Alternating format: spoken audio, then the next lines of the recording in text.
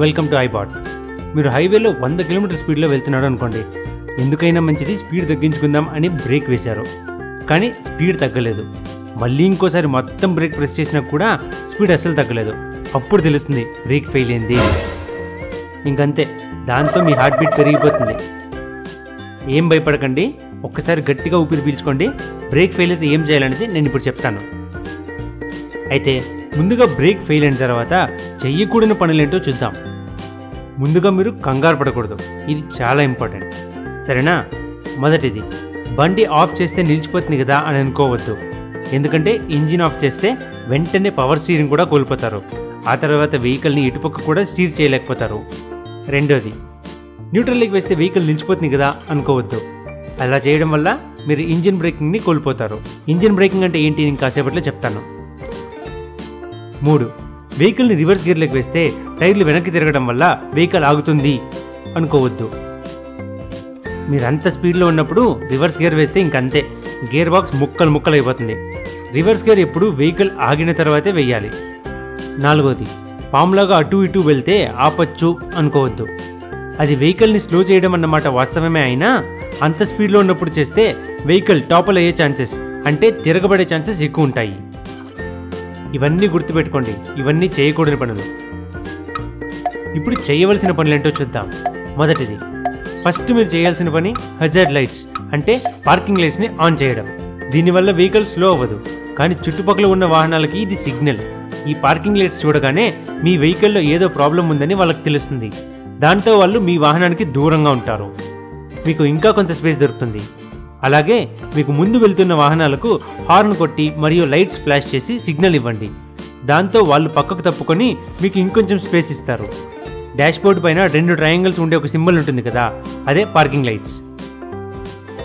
ఇంకా రెండోది బ్రేక్ని పంప్ చేయడం. బ్రేక్ పెడల్ కింద వరకు వెళ్ళిపోతే రెండు మూడు సార్లు బ్రేక్ని ప్రెస్ చేసి బ్రేక్ ఫ్లూయిడ్ ద్వారా ప్రెషర్ని క్రియేట్ చేయడానికి ట్రై చేయండి. ఈ కొద్దో గొప్ప ప్రెషర్ కలిగిన వెహికల్ని ఆపడానికి ఉపయోగపడుతుంది. ఒకవేళ ఇది కూడా పనిచేయకపోతే ఇంకా మూడవది గేర్ల ద్వారా స్పీడ్ తగ్గించడం. దీన్నే ఇంజిన్ బ్రేకింగ్ అంటారు. ఒకవేళ మీరు మాన్యువల్ గేర్ వెహికల్ని నడుపుతుంటే క్లచ్ ప్రెస్ చేసి ఒక్కొక్క గేర్ తగ్గించుకుంటూ రండి. ఇది మీ కార్ని స్లో చేస్తుంది. మీ కార్ స్పీడ్ ఎంత తగ్గిందో దానికి అనుకూలంగా గేర్స్ని తగ్గిస్తూ రండి. ఒకవేళ మీరు ఆటో ట్రాన్స్మిషన్ కార్ వాడుతున్నట్టయితే అక్కడ ఎం అంటే మాన్యువల్ అని ఉంటుంది లేదా ఎల్ అంటే లోయర్ అని ఉంటుంది. దీన్ని మీరు మాన్యువల్గా వాడి కార్ స్పీడ్ని తగ్గించండి. ఆ టైంలో మీరు కంగారు పడి వెహికల్ని త్వరగా ఆపాలి అని ఒకేసారి ఫస్ట్ గేర్కి వేసి ఆపే ప్రయత్నం చేయకండి. ఎందుకంటే అది మీ గేర్ బాక్స్ను మరియు ఇంజన్ని చాలా డ్యామేజ్ చేస్తుంది. ఒకవేళ మీరు ఎవరినైనా గుద్దేసే ప్రమాదం ఉంటే మాత్రమే ఇలాంటిది చేయాలి. ఎందుకంటే అప్పుడు ప్రాణం ముఖ్యం గేర్ బాక్స్ కాదు. వెహికల్కి ఎలాగో ఇన్సూరెన్స్ ఉంటుంది. ఇలా ఇంజిన్ బ్రేకింగ్ చేయడం వల్ల పది నుంచి పదిహేను కిలోమీటర్ల స్పీడ్ మాత్రమే తగ్గుతుంది. అయినా సరే ఇలాంటప్పుడు కారు ఆపేందుకు ఏ చిన్న ప్రయత్నం కూడా వదలకూడదు. నాలుగు వెహికల్ని సేఫ్ లైన్లోకి తీసుకెళ్ళండి. కంగారు పడి స్టీరింగ్ చాలా తిప్పకండి. ఏదైనా అడ్డం ఉంటే దాన్ని అవాయిడ్ చేసేంత మాత్రమే తిప్పాలి. ఎందుకంటే అంత స్పీడ్లో ఉన్నప్పుడు స్టీరింగ్ కొద్దిగా ఎక్కువ తిప్పినా వెహికల్ టాపుల్ అయ్యే అవకాశాలు ఉంటాయి అంటే తిరగబడే అవకాశాలు. ఐదు ఇంకా చివరిది చాలా ముఖ్యమైనది. హ్యాండ్ బ్రేక్ లేదా పార్కింగ్ బ్రేక్ని వాడతాం కదా? హ్యాండ్ బ్రేక్ ఉంది కదా అని ఒక్కసారిగా పైకి లాగేయకండి. ఆ స్పీడ్లో ఉన్నప్పుడు వీల్స్ అన్నీ జామ్ అయ్యి వెహికల్ తిరగడం మొదలుపెడుతుంది. వెహికల్ మీద కంట్రోల్ పూర్తిగా కోల్పోతారు. దాంతోపాటు ఒక్కసారిగా లాగడం వల్ల హీట్ ఎక్కువయ్యి ఆ బ్రేక్స్ పనిచేయకుండా పోయే అవకాశాలు ఉంటాయి. అందుకోసమే పార్కింగ్ బ్రేక్ని మెల్లగా లాగండి. కార్ కొద్దిగా స్కిడ్ అయ్యే ఛాన్సెస్ ఉంటాయి. కంట్రోల్ చేయడానికి రెడీగా ఉండండి. ఒకవేళ టైర్లు లాక్ అవ్వడం లేదా టైర్లు రోడ్డుకు రాకుంటున్నట్టు మీకు అనిపిస్తే ఆ హ్యాండ్ బ్రేక్ని కొద్దిగా లూజ్ చేయండి. వెహికల్ని స్లో చేసేంత మాత్రమే హ్యాండ్ బ్రేక్ని లాగాలి. ఇదంతా చేసిన తర్వాత మీ కార్ ఖచ్చితంగా స్లో అవుతుంది. ఒకవేళ ఇదంతా చేసే టైం లేదు ఎవరినైనా గుద్దేసే ప్రమాదం ఉంది అన్నట్టయితే గడ్డి కానీ పొదలు కానీ లేదా ఖాళీ భూములు ఉన్న చోటికి వెహికల్ని స్టీర్ చేయండి.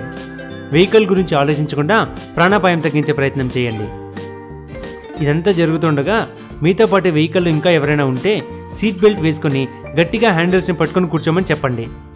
ఒకవేళ చిన్నపిల్లలు ఉంటే వాళ్ళని మీ దగ్గరకు తీసుకోండి. ఇందాక చెప్పినట్టు అన్నిటికంటే చాలా ముఖ్యమైన విషయం ఇలా బ్రేకులు ఫెయిల్ అయినప్పుడు మనకు ప్రాణం చాలా ఇంపార్టెంట్ మనది కానీ ఎవరిదైనా కానీ సో వెహికల్ డ్యామేజ్ గురించి ఆలోచించకండి. ఎందుకంటే దానికి ఇన్సూరెన్స్ ఉంటుంది. ఇలాంటి వీడియోస్ మా ఛానల్లో ఇంకా ఎన్నో ఉన్నాయి. మా ఛానల్ని లైక్ చేస్తారని ఆశిస్తూ సెలవు తీసుకుంటున్నాను.